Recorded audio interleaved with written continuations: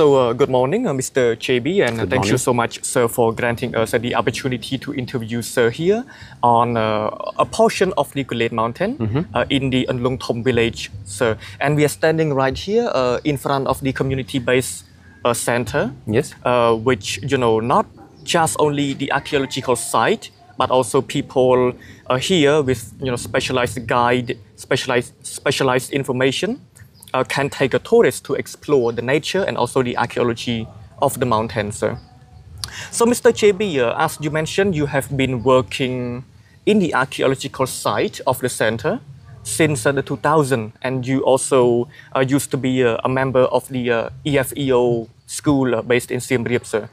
Sir, because when people, especially Cambodian people, talk about Kulen Mountain, they normally talk about the waterfall. They normally talk about Preah Ang Thom, you know, the reclining Buddha and the pagoda. But um, proportionally, not many people talk about the temples or you know the other ancient structures that we rarely heard about. So for let's say for the past 25 years or so working on Kulen Mountains uh, archaeologically, uh, what are the significant finding or maybe rediscovery that you have so far, sir? So for the last uh, yeah 25 years, uh, you're right. I've been coming here, working here uh, first as a as um in term in, in the context of my personal university study. I was working in Angkor, but I was doing a master and then PhD. And after a few years, I was able to set up an organization called Archaeology and Development (ADF). Um, specialized in Kulen and, and focusing in both uh, archaeological research and conservation and local development and environmental protection. So within these two co- contexts in Phnom Kulen, uh, I was able to first uh, check all the previous inventories uh, before the, the, the Cambodian war. Uh, there has been some work done uh, from the late 19th centuries to the 30s, 1930s, uh, uh, but also in, in the 60s. Uh, these were mostly inventories of archaeological sites, uh, a few specialized story, but not too much. Oh, you mean inventory like uh, you know like um, real life statue that they put somewhere or like information paper something like that? I mean, uh, studies about sites uh, that Oh. were located here, that are located here, and inventories of sites. Yeah, wh- which just Mm. list of sites at the very beginning, and then specialized uh, studies, mostly in the 30s, to um, research about the the Kulen style, uh, which was. Uh, integrated into the chronology of the, the Khmer styles, Yes, sir. uh, and precisely between the pre what we say what we call the pre-Angkorian and the Angkorian period. So this was particularly the case between 1936 and 1938 with a study uh, from Mr. Stern and Dupont. Later on in the 60s there was Mr. Jean Boulbet who was not an archaeologist but uh, an anthropologist and a botanist and studying the relation between uh, the population here and the nature around. Uh, but he also published an archaeological map. In this same period, there was also the discovery of Kabalpin, Kbal Spean archaeological site, uh, which is a, a river uh, riverbed carved uh, in the other uh, peak, in the other massif of Kulen. so, so so- when when was the let's say French um, scientific society first heard about Kbal Spean location, sir? In 1968, this was the, the discovery uh, from. Uh, it was actually known from a, an hermit uh, called Mei. He was uh, living in different location. He was moving quite a lot in Kulen, but he knew that place and he informed uh, Mr. Boulbet about its uh, presence, and this is how the site was discovered. Um, this was in early 1968. There was some first uh, pictures, registration of uh, and rubbing of ancient inscriptions, and of course the civil war stopped all this dynamic. Uh, however, Mr. Boulbet was able to publish uh, an important book uh, called the Phnom Kulen uh, and its region, yes, uh, studying, exposing, let's say, the relation between the, the villagers and their natural environment, and then nothing, nothing else. So when I came back in, when I came in 2000, first time in Kulen, uh, it was very remote, uh, very hard to access to this village in particular, and um, uh, the idea was to first see what has been done before and see with my own eyes all these sites to map them because we have uh, better and more precise technology with GPS Yes, at that time. So it was an opportunity to to remap the sites and to see uh, um, through this mapping uh, a kind of um, to determine some categories. We have temples, we Yes, have sir. ancient rock shelters, we have dikes, we have ponds, and so on. So this was the first work that I did by myself, and then within the ADF uh, NGO, uh, started in 2008, we were able, with the collaboration with uh, Apsara National Authority, to uh, excavate uh, some of these sites. Uh, so at first we focused on the uh, temples. Of course, we had to select Yes, because there is quite a few of them, and also the rock shelters. Um, so uh, the temples, we uh, select a few brick temples that are more secondary uh, temples, and we also select the pyramid temple at Aram Rongchen, which is quite emblematic because it's the only pyramid temple in Kulen. We also, um, right at the beginning, uh, suspected the presence of a royal palace in Kulen. But but but I mean, um, how was the idea of a royal palace came into existence, sir? because it- we know that Yeah. in, in, in a Cambodian, in a Khmer capital, you have three major feature. Uh, Usually, uh, you have the mountain temple, such as Angkor Wat for uh, the uh, uh, the late uh, Angkorian period, Bayon or Pre Rup before, and so on. Uh, we have uh, so mountain temple, royal palace, and a large reservoir. These are usually the three main features that you find in a Khmer capital. Uh, The following king usually either used the previous uh, uh, reservoir, but sometimes he create another one. Yes, sir. So in this case, we were uh, kind of looking for these picture features. We knew that the, the pyramid temple was there. We had some suspicion about the existence of the royal palace, and we did find the royal palace uh, in 2008 and 9. So we excavated this site for a few campaigns. Uh, however, we didn't uh, we didn't know where was the baray, the ancient reservoir. So so you discovered the temples, the like the pyramidal temples. No, it was it was known before. It was known Okay. since the late 19th century. Oh. Uh, there was, as I said, there was a, a few inventories of these sites that were made very, uh, yeah, more than 100 years ago uh, by the French explorers uh, who, who made inventories about all the archaeological sites, Yes, mostly sir. temples, in in ancient uh, in the ancient Khmer uh, Empire and its territory. So. We excavated those sites. We also excavated the later uh, rock shelters that have bas-relief, inscriptions, uh, sometimes traces of uh, wooden uh, architecture, like post holes or holes for beams and so on. So uh, these sites uh, are quite numerous in Kulen, and they yeah, catch our attention, and we, we really wanted to date them more precisely. We knew they were a bit later because some inscriptions have dates from 11, 12, uh, 10 to, to 12 centuries. Uh, so we focused on these two kind of sites, you know, temples, royal place, and, and also the later rock shelters. This was between 2008 and 2012. You mean uh, rock shelters like cave, cave system or something Uh, like that? they are not, yeah, sometimes they are cave, They are cave but not very deep.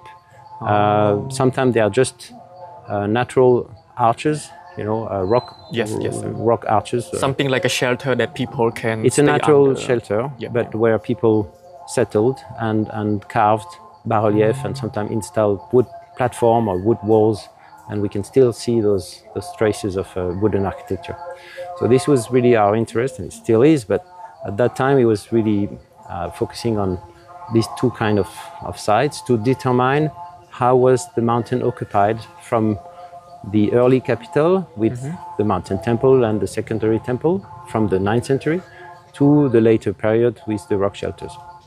So this was our, our first, uh, let's say, strategy in terms of archaeological research to excavate not only the sites from the capital, but the, the one that are also a bit later, such as the rock shelters.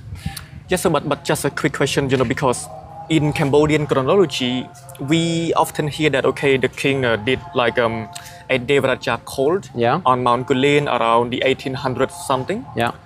Um, I think, you know, when the king was there, maybe Kulen was already inhabited. So do you think that Kulen was older than that? Do you have any you we know yeah we evidences something like that? there's a few inscriptions that mention that Jayavarman II yes, yes. was uh, consecrated as a universal uh, Ruler, king yeah. ruler in in Kulen, and that he, he established the Devaraja Mm-hmm. cult. Uh, this is quite a complex notion.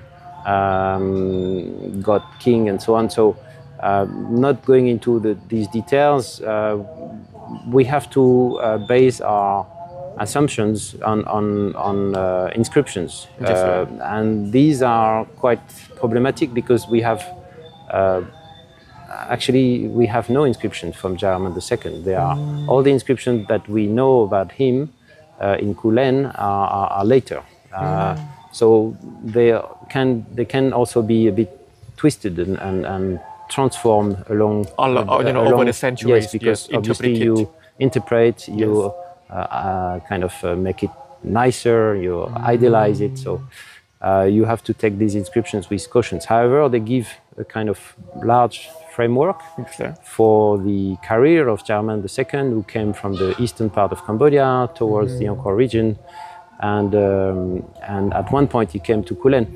We have suspicion of uh, the existence of previous temple. Um, uh, in particular, two of them are probably older than the capital in Kulen, uh, but most of them date from this time. Um, and so does the mountain temple, and so does the Raya Palace. This is the result of our research. Uh, and then later on, you have the hermit occupation, uh, which is from the 10 to the 12th, uh, 13th century. So um, maybe this is not really about archaeology, but if you can answer that, sir, because you mean like hermit? You mean like those uh, who study religion, who study Yes. maybe like, uh, if I can go a bit more, like they study like spell or something like that in, they, in the what we know about these hermits uh, is that they usually are high-ranking people. Uh, Oh. They know how to, to write and read Sanskrit. Yes. Um, but we don't know a lot about them. Well, they didn't leave any precise biography uh, for sure, but they did left in some case uh, short text uh, written on the on the rock shelters, Yes, uh, where they mentioned that they have been uh, they had a, a kind of prestigious occupation uh, before, and they get away from that occupation. They re- let's say they retired from the from the world or from the court with the king, and they they became a hermit uh, to practice meditation. This is one of the main occupation. They practice meditation, uh, and So, sometimes so they may not be Buddhist, but they also practice like they uh, were not Buddhist at that were- time. They were mostly uh, uh, Hinduist. yeah. Hindu, yeah. So they because the bas-relief that we have in their rock shelters are in like a very meditation rarely- position, something like that, sir. Yes, we can see them. Uh, we can see some representation of hermit in, in meditation, but we can also see the the, the, the, the gods that are uh, illustrating illustrated in these in these uh, shelters are mostly related to Hinduism. Uh, Shiva in the shape of Shiva, Yes, um, Sadashiva, or uh, it's, it's quite rare to see a Buddhism image at that time. It's in a few cases there is, but uh, most of the time it's it's related to Hinduism um, in in the form of Shiva or Vishnu. Um, so we were also quite interested into these uh, these sites because these are very unusual and very particular and also very beautiful sites, never studied in in the Khmer uh, archaeology, the Khmer world. So we were the first to excavate two of them and recently a third one. Um, so that gave us the confirmation that these sites were firstly occupied during from the 10 to the 13th centuries. They're usually settled in the in this in the sides of the the Phnom on the cliff where you have natural rocks Yes, uh, shelter or arches, uh, and also that gave us the, the the confirmation that these sites are occupied not only by one hermit. At the beginning, maybe there was one hermit who retired from the world, but then there's a whole community that comes and leaves, maybe comes back and leaves. It's not the permanent occupation of a lot of people. It could be temporary uh, visitors Yes, that sir. comes to learn uh, meditation. We can assume that because we see the traces of very large building in some cases uh, that are obviously not built by only one person for one person. Uh, it's it, these are sometimes 500 square meters, so they are very big buildings that we can see through the post holes in the sandstone rock. Yes, sir. Uh, and these sites uh, obviously probably start with the lone uh, hermit, but then became popular and welcome some pilgrims, some people who came Yes. to give offer, such as uh, a pedestal and, or, and a linga, or to learn uh, the, the teaching from meditation. It's actually not very different from the practice of the hermits that we still see today in Kulen. We have some hermits or You- some so monks. there's still hermits Yes. here in Kulen. sir? Yes, are still hermits and monks that are uh, practicing meditation in a temporary uh, place. Shelters, shelter, yeah, yeah. Uh, they don't stay all over the year. They move. Uh, they are quite uh, hard to catch and to, to see these people. Uh, quite discreet, of course, uh, but they sometimes attract some local villagers to bring some food, to bring some offering, and so on. So this is the tradition of hermits and, and uh, associated pilgrims in Kulen is, is actually over a thousand year old. Uh, if you So the hermits are Cambodian people. yeah, yeah, yeah, sure, yeah. Yes, sir. So after these uh, studies of temples related to the capital from the 9th century and, and the rock shelter a bit later, we also were able to um, participate to the LIDAR uh, consortium that was Yes, sir. set up by my colleague uh, Damien Evans, at that time from the University of Sydney. And we joined forces with uh, seven other uh, archaeological team, including the Ministry of Culture and Apsara Authority, to apply this technology of LiDAR over uh, first three areas in 2012, Kulen, um, Angkor and Koh Ker, and uh, in 2015 in, in a much, in, in basically a lot of archaeological sites uh, in the whole Cambodia, up to Banteay Chhmar or Sambor Prei Kuk. But in 2012 and 15, we had two area covered uh, two times in, in Kulen. And this is where the big surprise came because uh, not only we could clearly see the temples that we knew with their uh, platform uh, or the dikes that we knew, uh, but we could see a whole network of uh, a urban network that was defining a grid very precisely uh, organized. Uh, so this grid, this grid is made of uh, uh, earthen dikes, Yes, uh, raised dikes. Earthen dike. Yeah, So raised not, not dikes. like laterite wall. No. No, they are just earth, you know, just soil uh, raised in, in a line. So it's a dike. Um, and this is very organized. You, you have, it's covering 40 to 50 square kilometers. So it's a huge area. Uh, it's divided into squares. So they could be rice field. No. So Maybe- this was uh, obviously the questions because sir. we knew where the people pray, we knew where the king was staying, the royal palace, but we didn't know where the people were Grow staying. food. Yeah, grow food and lived. So um, this urban grid was. Uh, it's you have to imagine it's quite a large uh, scale. It's it's a s it's each block is 1.5 uh, kilometer it's a square of 1.5 kilometer side, and you have three of them east-west and at least four north-south. So it's a huge rectangular uh, area divided into these squares, and Just- within these squares you have other division of small plots where probably people lived and maybe cultivated uh, their rice. We didn't see any traces of uh, uh, crops. Or, crops exactly yeah. of you know dikes around the, the rice fields as we see in the Angkor plains. So we suspect the population was either getting the food uh, From below. from, below from Yes, the yes, plain, from- or they were practicing slash and burn agriculture, like they used to do until very recently here. So this is not this is still not uh, sure yet, but this is yeah needs to be confirmed by by further research. But this was the major discovery in 2015, uh, 12 12 first and 15, uh, to find that the sites that we knew uh, were all linked into a urban network which is very ambitious, uh, very large, uh, probably unfinished, uh, and showing that all these known sites were not randomly uh, built uh, on the top of the plateau, but within the grid, uh, very organized, and which is quite surprising because the top of Kulen Plateau is not flat.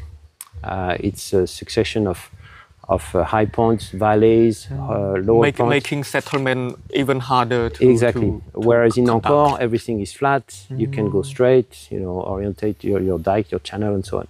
Here, it's not the case. And despite that, despite the the, the uneven uh, topography, they managed to, to, to do a very orientated and, and regularly organized uh, urban grid. So that was that was quite a discovery. Yes, sir, but uh, you know, because Kulen Mountain is very big, of course. I mean, looking from the National Road 6, we saw a very long Mm-hmm. range.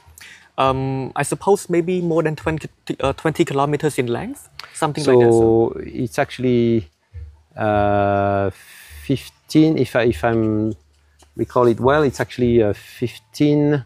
Um, it's oriented towards southwest and northeast.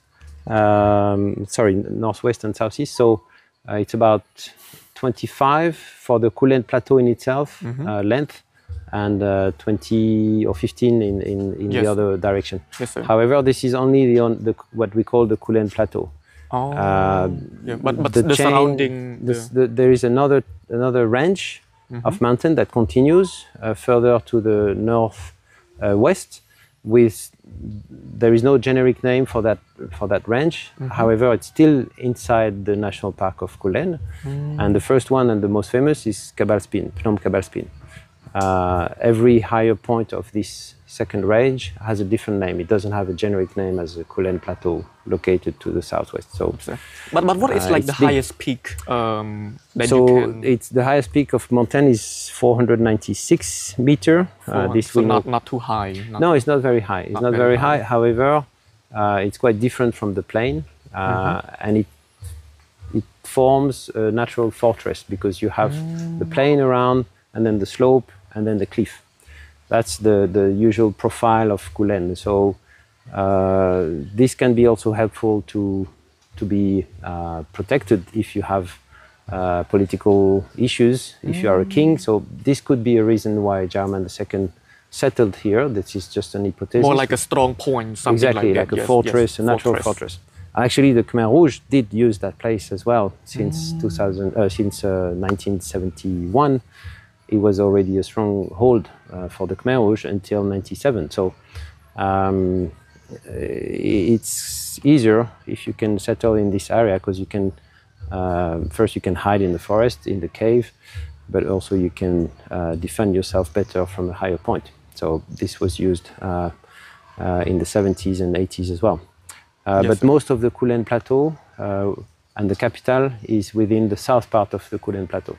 The northern part is, was not occupied because we, we can certify this uh, with the LiDAR. Now there's no traces of human occupation, um, and it's still not the case. It's still forested. Whereas the south part, where we are now, it's uh, where you find the villages, but that's also where you find uh, the ancient capital. So, so you mentioned that what we are we are standing here is more or less the center of the capital. Exactly. We But are- based on what's uh, like orientation Uh, of each temple that you can. the center it's it's we could say there is two two centers one could be more uh, the civil center with the royal palace um, and the, we can also say that there was more a religious center with the mountain temple uh, Rongchen, Prasat Rongchen. So these these two sites are obviously very important. They actually defined uh, the orientation and the organization of this grid that I was mentioning before. yes, sir. Um, and here at the moment, we are located just a bit uh, towards the east of uh, these sites, but very close. Uh, Aram is, is about two kilometers from here. Yes, sir. Um, again, sir, because uh, you know we, when we say Kulen Mountain, we often you know refer to a specific period of time, maybe like the peak of the civilization or something like that. But again, like you mentioned, you know, it could be even before the eight, the you know, the eight hundred years when the king did the, you know, Mm-hmm. The- the, the, the- call or something. yeah. So you know, from that until today, it's more than a thousand years. sir. So again, you know, from, from the research that many researchers did during the 1960s or even earlier than that, and until today, sir, um, just like a general view, sir, like how much do you actually know about Kulen Mountain? Is it like a mountain full of uh, mystery, archaeologically, or maybe you have maybe perhaps Well, I think uh, first, just to, to, to precise a little bit, uh, um, you know, the definition between pre-Angkorian and Angkorian period is very uh, is very practical. It's it's something that the historian and archaeologist, uh, the French archaeologists, have defined or before the, the, the war, and that it is still used, and uh, nowadays. However, it's a bit of a uh, artificial uh, separation. Uh, yes, sir. so for sure, Jayavarman II, who founded this capital uh, in the early 9th century in Kulen, And that marked the beginning of the Angkor period, something yes, like that. Sir. exactly. However, um, if you go to Sambor Prei Kuk, you will see a site which is massive with a lot of temple, uh, which means that there was a central power that was also very powerful. Um, but the central power from the 7th century collapsed during the, the 8th century uh, and, and get back to, to some strength with Jayavarman II uh, around the, the beginning of the 9th century. So um, it's just a question of how strong is the king and how can he, you know, uh, uh, organize all the, the, the provinces around him uh, to keep a strong power. So we usually, it's a bit of a caricature to say that Jayavarman II is the founder of the Khmer Empire. Yes, I would rather say that it's in the continuity of what happened before, uh, and Sambor Prei Kuk is a good example of how a strong uh, political state can can create a large and and uh, capital with many uh, archaeological sites, uh, many temples and and reservoir. However, the situation can evolve, uh, the political power can collapse, and this is what happened after Sambor Prei Kuk. So uh, it, it, it's just not coming out of nowhere, Jayavarman II. You know, it's a tradition of uh, what happened before. Um, so all this um, story about Jayavarman II, founder of the Khmer Empire, with the Devaraja cult and so on, Yes, sir. kind of create a bit of a legend around his person, and especially around Kulen, where we knew from inscription that he settled this, this capital. We didn't know really what happened here until we uh, gathered the previous research. Uh, some of them were clearly indicated that there was a capital. This, this is known since 1911, actually, that the, the, compu- the, the, the Mahendraparvata, the capital of Jayavarman II, was established in Kulen. It was confirmed in 1936-38 with an archaeological So properly recorded in the early 1900s, sir. uh, in the early 20th century, yeah. 20th century, And yeah. then confirmed uh, with some archaeological research in Mm-hmm. 1936. But these research were only focusing on, on uh, temples, and Mm. in particular uh, the lintels, the columns, and the sculptures that were inside these temples. Uh, it was important research to determine the Kulen style. However, it was very orientated toward art history. Yes, Um, after that, not much until yeah we, we came and we were able to excavate quite a few number of sites, 22 if I recall well, um, selecting from these um, temples, mountain temples, royal palace, uh, rock, later rock shelters, and then when we had the lidar results uh, in 2012 and, and the next season, we were obviously changing a bit our strategy and focusing on these sites, on the sites that were revealed by the lidar, which are usually uh, not visible if you don't know that they are archaeological sites. It's just a bump or uh, a depression, a hole. But if you see the LiDAR data, you can clearly see that these are mounts, artificial mounts, human-made mounts, or earthen dikes, or ponds, or platforms, and they are covered by, by vegetation. So this is the advantage of the LiDAR is to give Yes, you uh, to, to, to To pierce through the, the, the forest to exactly. see what, what to is, see the uh, topography, yeah. to have a very precise uh, 3D model of the of the ground topography. And so we focused from 2013 to these sites, excavating earthen dikes, platforms, mount fields, uh, dikes, and, and so on.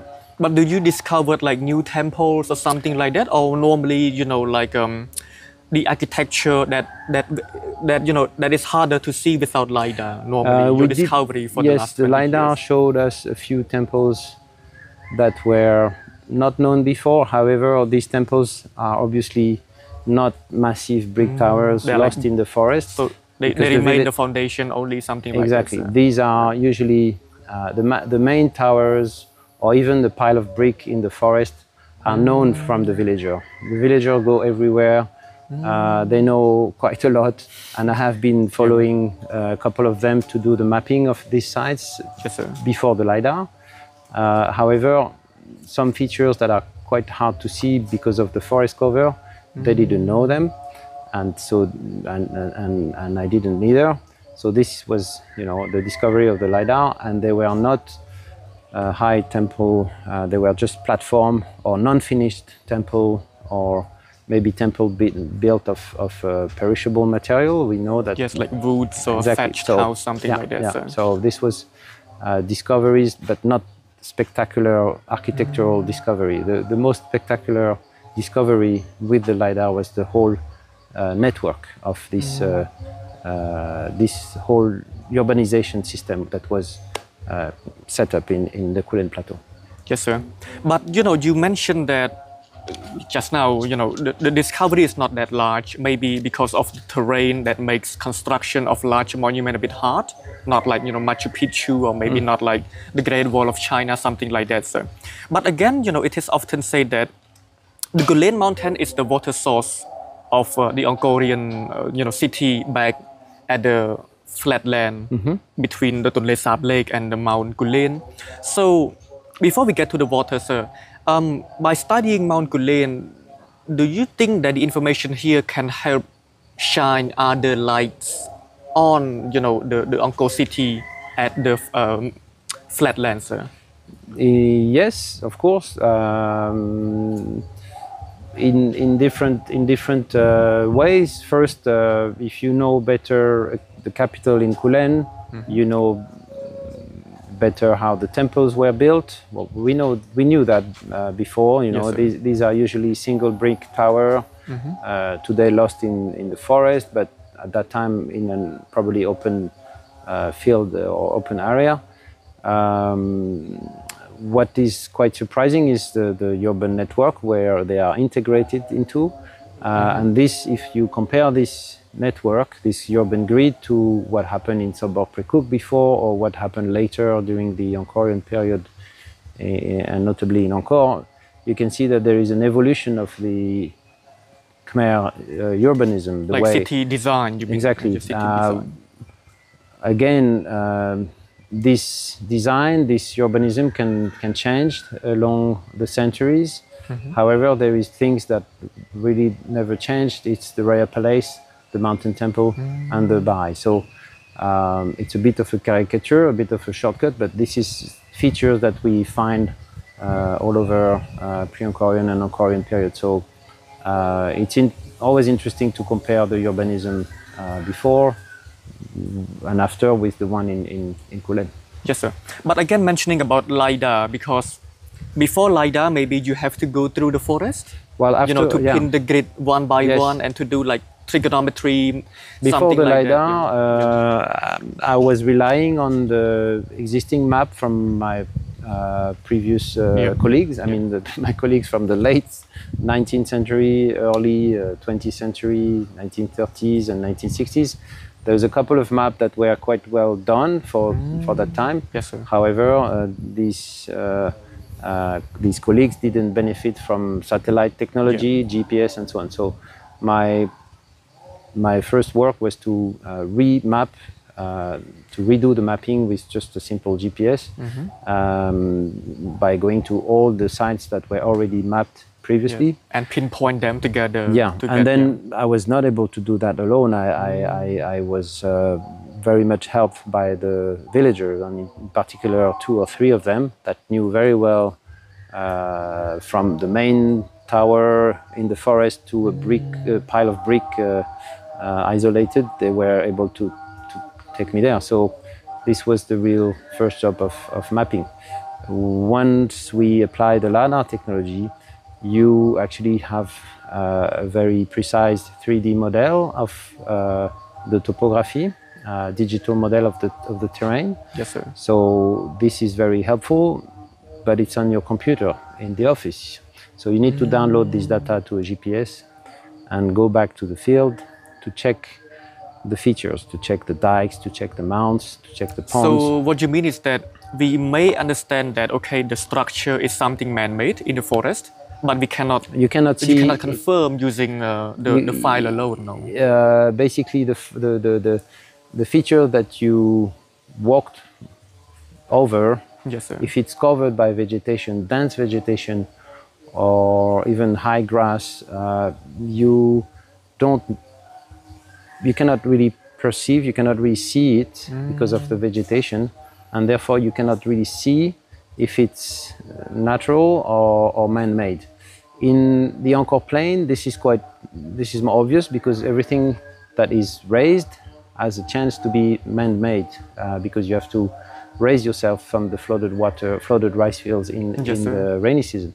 So any platform in, in the Angkor landscape is usually man-made, maybe recently, but uh, also at the Angkorian period. So in the context, in the topographical context such as Kulen, you cannot really uh, have the same vision uh, because everything is, you know, high point, low point, and everything is more or less covered by vegetation. So this is where the lidar is a great tool because it's virtually deforest uh, everything, and you can have a very precise um, uh, map of the ground, and therefore after you can go back to the field and check that the feature you've been crossing many times over many years is actually uh, a dike that is uh, several hundred meters long, or the bump you've been driving over for many years is actually part of a, a series of uh, mounts that was previously not known. So this was the, the, the, the, the great discovery and the main advantage of the LiDAR technology. Yes, sir. But you know, looking from the map that you put in your research paper, uh, from my you know untrained eyes, I see that you know the temple, one temple is over here, another temple is over there. Mm-hmm. Um, so a bit different from you know, let's say maybe Koh Ker, a bit different from Angkor region. So the city in Kulen, is it like centralized in a way that it is easy to perceive, or it's more like you know an uh, organic development that happens you know here and there? I would say it's quite centralized. Mm-hmm. In it's not that different from from Angkor uh, or Koh Ker. You still in- see the axis uh, yes, connecting together. The, the yeah. thing is that Angkor is is uh, has been used and built and reused and modified for over five, even more. But let's say from from the 9th to the to the 15th centuries. Yes, so uh, it's harder to read as a as a whole because it's a superimposition or juxtaposition of capitals yes, sir. uh, with mountain temple, with reservoir, with many you know secondary or very large temple as we know. Uh, here it's a one-shot capital. Okay, like It's- Koh Ker, let's say, similar to Koh Ker, yes, yeah, ex- one shot capital. Yes, in a way. So uh, this is a very ambitious plan. It's covering a, a large area, 40 to 50 square kilometer, with two main sites, three main sites. Yeah, uh, Mountain Temple, Royal Palace, and Reservoir, and and then a grid of dikes defining that whole area. And within this grid, we can see clearly the link of the secondary uh, temples. Uh, so it's a, it's like a, an organization quite well thought, especially in this um, irregular topography. Uh, but the more, let's say, one point quite important is that it's a, it hasn't been reused after, and it's also probably unfinished because the Barai in Kulen is unfinished. We can clearly see that it was started but never finished. The Yes, sir. mountain temple as well, it's not finished. Um, it's quite common that the Khmer temple were not finished, but in this case, uh, the, the, the, the, the, the sites were not completed uh, uh, to their to their termination. You know, uh, so there is a, the Kulen capital, Mahendraparvata, as, as we know its name from the description, is a clear and very ambitious program, however, not uh, finished to the, to the original plan. Yes, sir. So focusing a bit on nature, sir, because um, of course um, there's no record from maybe the Angkorian period or maybe before that or after that. But uh, you know, in a span of a thousand years, maybe nature has changed Yes. quite much, sir. So do you think uh, the ecosystem during the Angkor time and today on Mount Kulen is very different? Or Um, you know, actually, nature is we- basically the same, sir? we have ways to to know how it was at that time by doing corings in the humid areas. Sorry, You mean so like uh, drilling? uh, drilling samples sediment? exactly Oh, okay, samples okay. of soils because Yes, these samples of soils they catch uh, uh, pollens uh, and charcoals. Uh, When you have a swamp, you have a vegetation uh, with with pollens. You have yeah some samples of charcoal falling and You mean pollen? Pollen, like yeah. uh, the small, the yes small thing from the flowers. exactly Okay, so okay. Or, or even seeds that are uh, preserved in in humid context if it's humid and if it stays humid in a tropical context you can preserve these uh, these um, Plant parts. plants yeah so uh, we have been participating uh, to studies uh, from cores that we uh, selected uh, in, in the humid uh, places, in, in ponds. And we had a list, for example, of, of uh, plants that were um, developing at the time, also some carbon, carbon, uh, carbon uh, dating uh, thanks to charcoal. So we have a rough idea of the uh, environment at that time.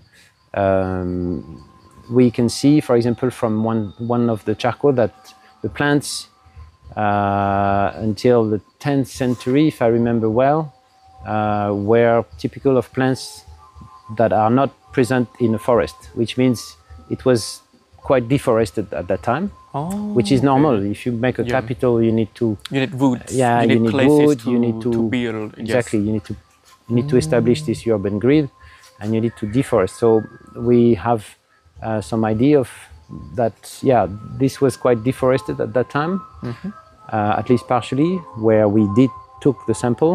Um, however, there is a shift at one point where it becomes uh, more abundant because other plants are growing. So uh, there is uh, indication about you know before uh, during this capital and after Yes, sir.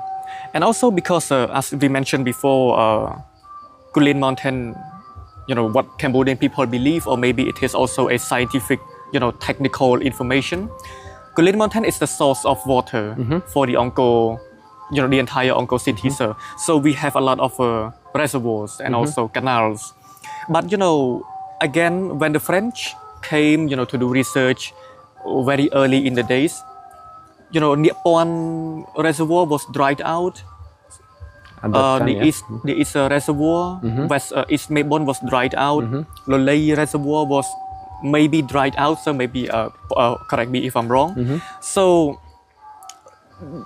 do you think that there is a decrease in water distribution from Kulen Mountain? That is why. Uh, it's hard to It's hard to say, It's sir. hard to say because we don't have data of how much uh, the water flow Mm. uh, was important at that time. We don't have data about the rainfall.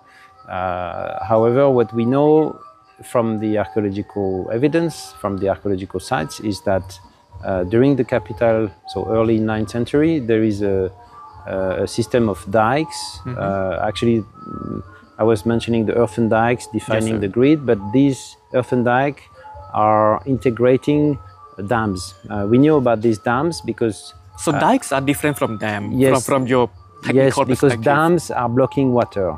Okay, Oh, dams is like okay. a, it's a it's a it's a much bigger feature. more permanent features. Mm, yes, Yeah. and also larger and longer and higher. Okay. Uh, and it's built in a valley. So if you build this dam in uh, perpendicular to a valley, you block the water, right? and you Mm, yes, create a reservoir, which has usually a triangular shape in, in this context. Mm. Um, so these dikes were known uh, prior to the LiDAR, but now we can clearly see that they are integrated within the grid of earthen dikes Yes, sir. uh, these dams. Sorry. So um, we knew that during the uh, capital of Jayavarman II, there was this reservoir, probably to uh, maintain some water. Some water for yeah, uh, agriculture, agriculture. something like. Uh, we can also imagine they constitute a, a reservoir for fish. So a good, uh, a, Mm. Okay. good way to to have Yep, uh, yeah. uh, uh, to Like a assure pond, food like- security yeah. also. Yeah. Oh. You know, uh, because going down to the plain is quite a long way and so on. So um, we knew that there was hydrological feature from the uh, 9th century. However, uh, we don't have the scientific data of how much it was raining, how much water flow was coming, and so on. So uh, what we know now is that these features are, are still regulating uh, the water flow from the Siem Reap River. They can be blocked, they can be restored. Uh, at- uh, Apsara Authority actually restored one of them few years back, and they are still used by the villagers uh, today. Uh, the reservoir are still uh, They're still captured. working Yeah, more or less. For sure, yeah, yeah. The water from from uh, this village Anlong Thom is partially coming from uh, Yes, sir. from uh, the reservoir behind the pagoda. So um, the link between the, the, the water flow uh, at that time Yeah. and the water flow in Angkor, we don't have the data We don't for have that. a lot of information. However, confirm, we sir. know that the river, Mm-hmm. the Siem Reap River, takes its birthplace in Kulen Plateau, and this hasn't changed since the Angkorian period. Uh, it's not only one river; it's many, many rivers. Yes, joining and then becoming one river. Uh, but it's not only the only. The, it's not the only one. You have the, the Puok River and uh, Lolei- oh, the no, no, no. Yeah. River. Yeah. So- Rolu, yeah, yeah. Yes, sir. So So, but, but judging from the amount of reservoir and the size back then, maybe we can say that oh the the, the water was big maybe. Yeah, Yeah. for sure. Um, again, we have these dams blocking sir. valleys and creating large reservoirs. I think we have five, mm, four to five big of, uh, you know, sir. uh, which creates a large amount of water. And if you include the the Barai, which was unfinished, as I said, this would have made a very large uh, uh, amount of water. The Barai, uh, between uh, to, located to the east of the mountain temple in Kulen, um, is about one kilometer long and more than 200 uh, meter uh, wide. So it, Yes, it would have been a very large reservoir. However, it was never finished. Yes, sir. And also a bit of a question on uh, conservation. So because um, in Siem Reap, uh, sorry, in Angkor region now, there are many conservation uh, process Yeah. for a very long time already. Um, but how about the ancient monument on Kulen, sir? So- Most of them, they are are they in urgently needed uh, conservation effort? So there is a, there is a bit of uh, of a history on this. sir. Uh, we we gathered all with our, our team of archaeologists. We gathered all the uh, previous information that was. Um con- uh, yeah, concerning Kulen sites. Uh, so we know more or less what happened uh, in terms of conservation from the 30s. Again, it's always the same period, huh? 30s, 60s, because there was archaeological research at that time. Um, and then when we started our excavation in, in the 2008, we were able to make some uh, very uh, urgent supporting structure uh, together with Apsara Authority. Now that Apsara uh, is uh, developing more uh, resource um, and has a, a better uh, trained uh, team, uh, they can implement their own uh, restoration um, project and uh, they have been doing quite a few in, in Kulen, uh, Yes, sir. Kahom, uh, they are doing at the moment Prasat uh, Op Awang. So these are large monuments that are threatening uh, by nature. yeah, by because you know they, Yes, they, they, they these are fragile monuments, brick monuments, so you always have risk of uh, collapse and so on. So they they are uh, implementing restoration project on these sites. If they cannot make uh, restoration project because it require quite a lot of resource, Uh, what they do is that they do supporting structure, Yes, sir. Like temporary, temporary temporary well, fixing. that's yes. it. Yeah. Yes, sir. But okay, uh, also the last question about conservation, sir.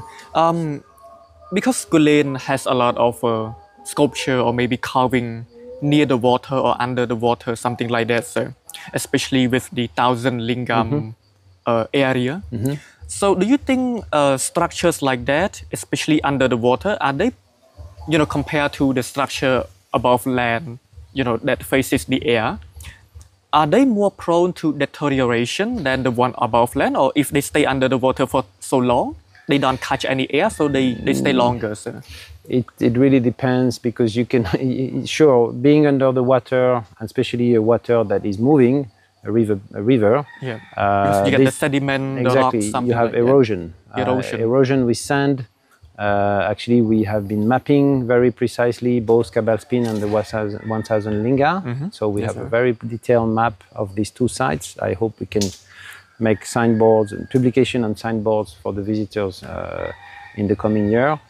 Uh, and this mapping has shown the traces of erosion uh, with the sand uh, against the, the, each linga. You can see clearly uh, traces of erosion.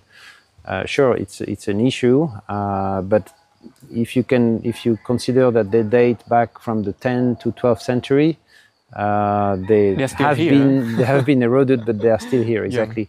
Uh, to the uh, opposite, we can you you have uh, bas-relief lintels Mm-hmm. of temple that were left in the temples uh, and that have been looted, that have been you know damaged and so on. Yes. So it's not only because you are underwater that you are more Susceptible to uh, susceptible damage, to no. damage. Yeah, everything can happen. Yeah. Mm, yes sir but again sir uh, like one do you know maybe do you have any you know like wondering like idea like how did they carve Yes, That we, underwater, do we, you- we, you- we have a we have an idea because we have been mapping them and we mm. find uh, small holes that are used that are not very visible when you look at the mm-hmm. linga, but that are used as a as a key point of a reference to duplicate a series of uh, of linga. So, for example, you have a, a square full of linga with the small Yeah. points in the corner, a small hole, and then uh, at the exact location you have uh, an equidistance. You have Yes. the same points point and the same amount of linga. So but, but like when when they carve the, the So- image maybe they they stop the water exactly that, that's like the main thing. Yeah. Before they start carving, they have to block the water. Ah, Otherwise, okay. it's impossible to carve in the water. Yes, so sir. we suspect they carved into the during the dry season, where the water is much it's lower. lower yeah Otherwise, it's impossible. And how do they block the water? Probably dam, with, with small small, dam- dams with Yeah. boards and sand and stones. And we have no documentation or archaeological uh, evidence of that, but we know that it's impossible to, to carve into uh, The water. uh, the water. So they probably block one part of the riverbed to let the river go on one side and then probably do the other side. Yes, sir.